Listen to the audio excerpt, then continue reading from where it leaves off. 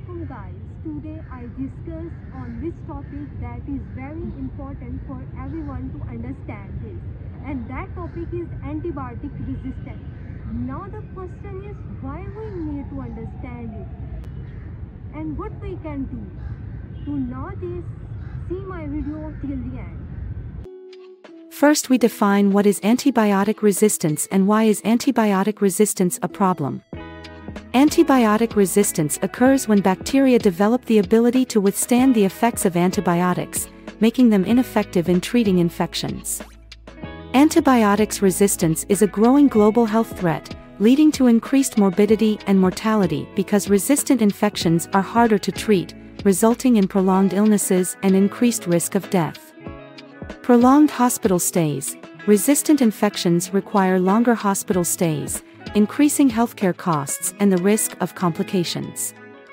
Limited treatment options because of the emergence of antibiotic-resistant superbugs leaves few effective treatment options. Bacteria gain resistance through different mechanisms, genetic mutation which is spontaneous mutations or mutations that developed due to selective pressure, horizontal gene transfer, beta-lactamase enzymes, and modification of antibiotic targets and many other mechanisms. Now we discuss what are causes of antibiotic resistance. Overuse and misuse of antibiotics. Taking antibiotics when not needed or not completing the full treatment course contributes to resistance. For example, using antibiotics to treat viral infections like the common cold or flu. Lack of new antibiotic development. The development of new antibiotics has slowed, leaving few options to combat resistant bacteria. Poor infection control practices, inadequate hygiene, inadequate sterilization, and poor wound care contribute to the spread of resistant bacteria. Example, not washing hands regularly, especially in healthcare settings. What can we do? Use antibiotics responsibly. Only use antibiotics when prescribed by a healthcare professional and complete the full treatment course. Practice good hygiene, wash hands regularly, especially in healthcare settings. Get vaccinated. Vaccines can prevent infections, reducing the need for antibiotics. For example, getting vaccinated against flu or pneumococcal disease. Support antibiotic research and development. Encourage investment in the development of new antibiotics and alternative treatments. We know that antibiotic resistance is a growing crisis that affects us all. Imagine a world where common infections become untreatable. That's the reality we face if we don't act.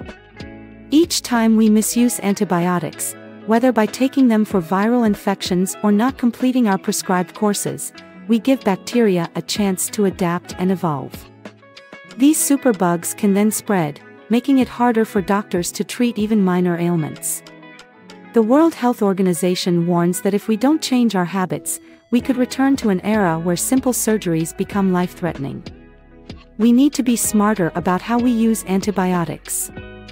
This means only taking them when necessary, following medical advice, and advocating for better practices in healthcare. By understanding the importance of responsible antibiotic use, we can protect ourselves and future generations. Together, we can combat this silent threat and ensure that antibiotics remain effective for years to come.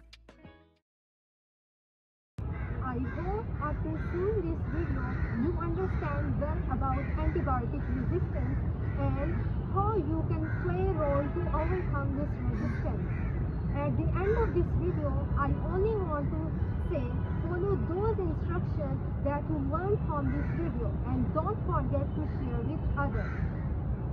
together to protect the public health future. Act now, protect tomorrow.